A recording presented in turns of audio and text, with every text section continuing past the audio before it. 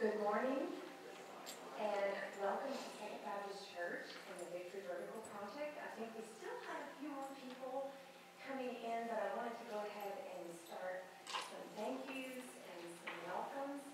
Um, I am Laura Triplett, and I am currently serving as the president of the Greater Memphis Music Teachers Association.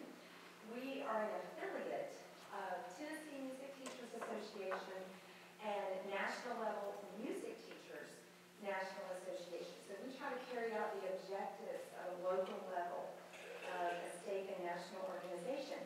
Um, I kind of want to um, take a minute and just um, say appropriate thank yous to people. Um, if the members in the audience of the Greater Memphis Music Teachers Association would please stand so that you can see we have quite a number of us here today. So any of the local Greater Memphis music teachers, um, and there, so thank y'all so much. It's such a wonderful group to be a part of. They're supportive in the arts in the city. Um, and then, um, next, I would like to say, um, a thank you to Second Baptist for allowing us to use this venue. Um, and I know uh, Dr. Stephen Cook, who's the senior pastor here, Miss Julia Pilgrim, who is also a Greater Memphis music teacher. Um, she has been um, the pianist here at Second Baptist for many years, and so we we thank her for her involvement in getting us here and for using this fabulous venue. Um, we also want to say a very hearty thank you to Amro Music. Amro Music um, is just so supportive of all the events that we like to put on. They are responsible for bringing this beautiful Steinway instrument. Um, it's the concert nine-foot concert grand Model D. Uh, Amro Music is the Steinway affiliate in a hundred-mile radius here in Memphis. So they service a big area. And our two gentlemen from uh, William Sliger, would you please stand, and then Ben Fumble, I think, is here also.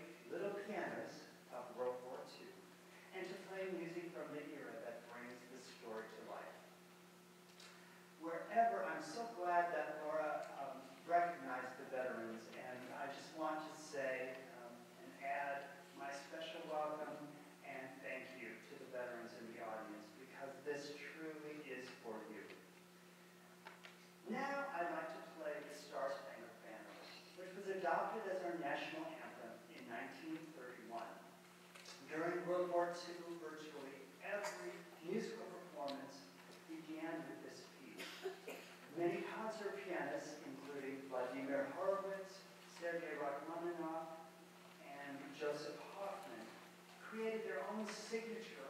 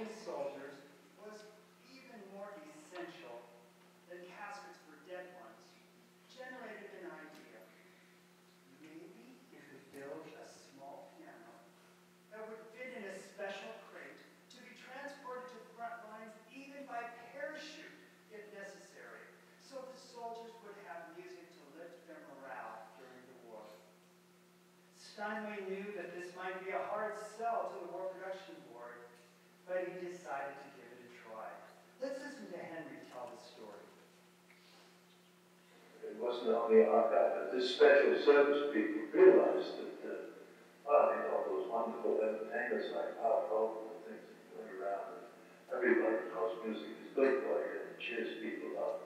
And so just like they had books and they had music, and when you think music, when it's a piano, you guys could, uh, it actually, when they didn't have an orchestra, you get a piano, guy could play it, everybody would sing the piano and have a good time. So they, they believed that. Almost 2,500 of these GI pianos were built between 1942 and 1953, the year the Korean Armistice Agreement was signed. Steinway and Sons called them Victory Verticals. Mr. Steinway has said that he received many letters through the years from GIs who thanked him for the gift of music that made life a and reminded them of the values for which they were fighting. He said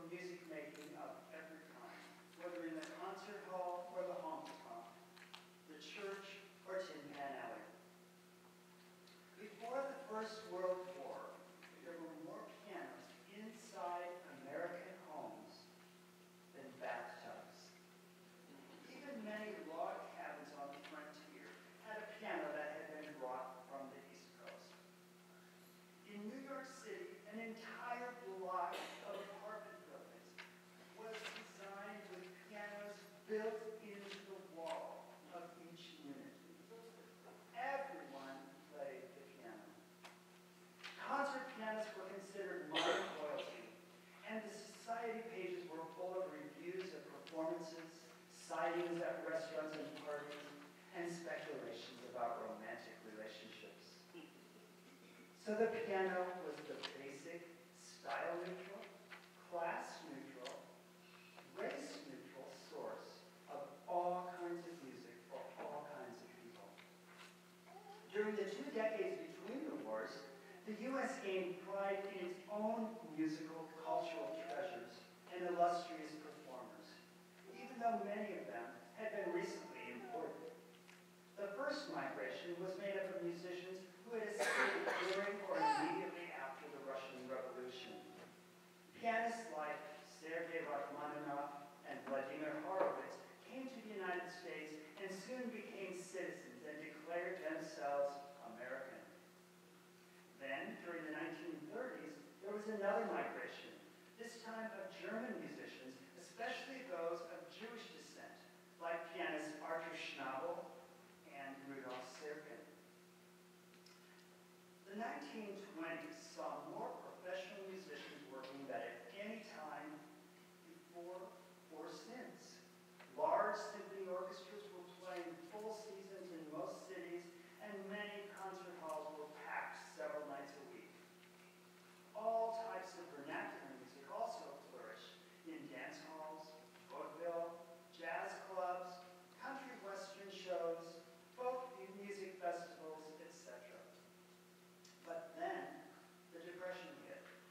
virtually all of these musicians were suddenly out of work. As part of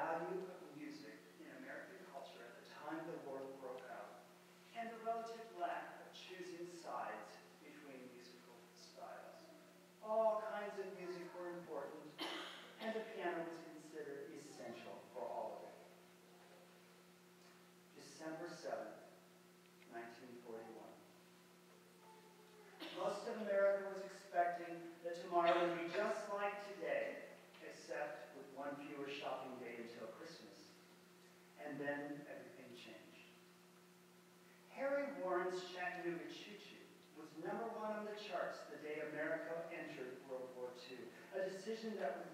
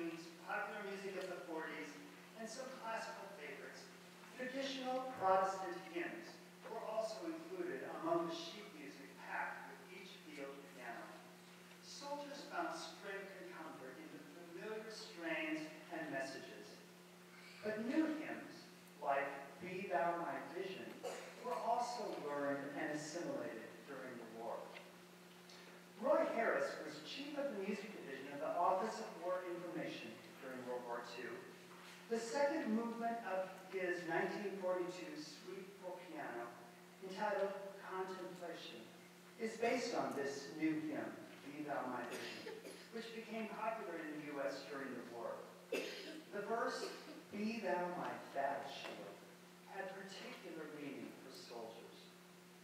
But it was the last verse that gave Roy Harris pause, quite literally. High King of Heaven, my victory won, may I reach heaven's joy.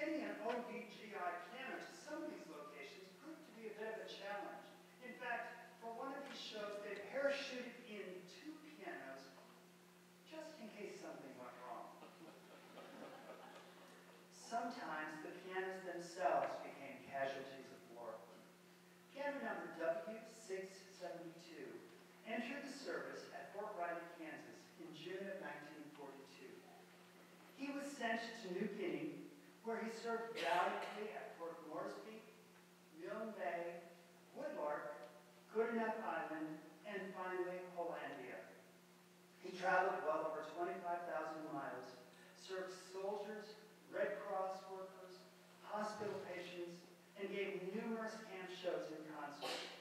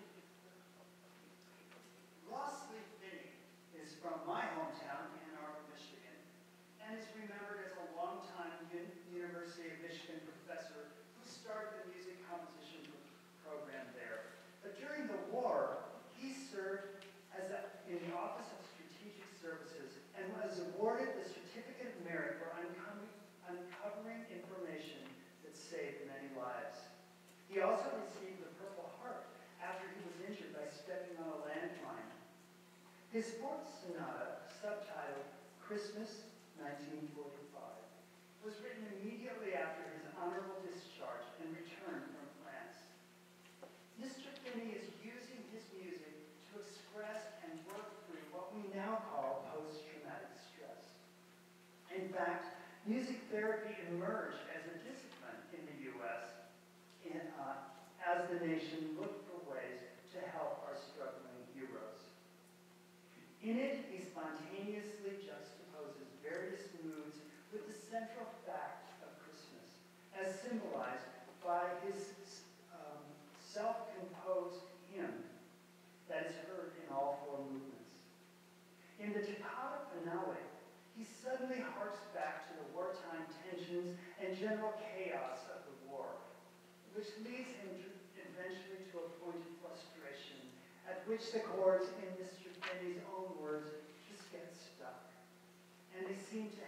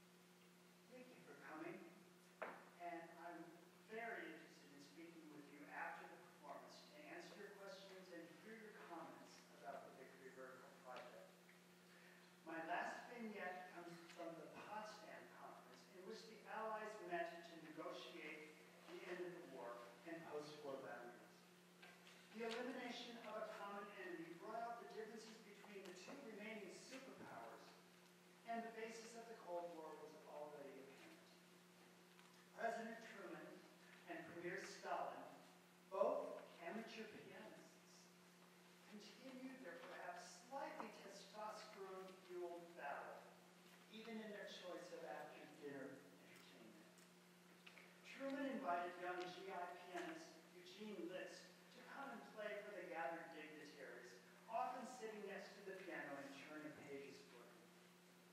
Stalin, not to be outdone, invited young Emil Gilels, who, like List, had entertained Russian troops during the war. When Stalin